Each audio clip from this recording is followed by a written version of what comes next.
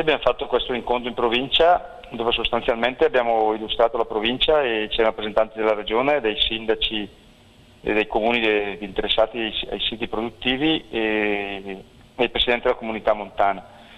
E abbiamo più chiaramente le organizzazioni sindacali, le rappresentanti sindacali e la, la, i, le persone che rappresentano la procedura concorsuale.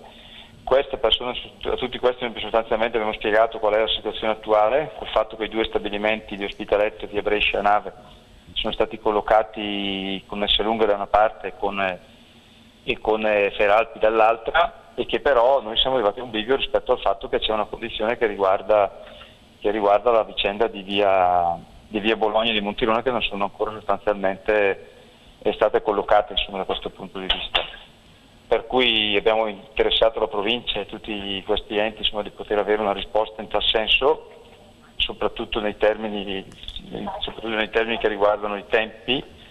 E ha, è uscito comunque un comunicato fatto dalla provincia, dai, sindaci e dalla comunità montana che auspica spunto il ricorso appunto alla cassa in deroga da questo punto di vista.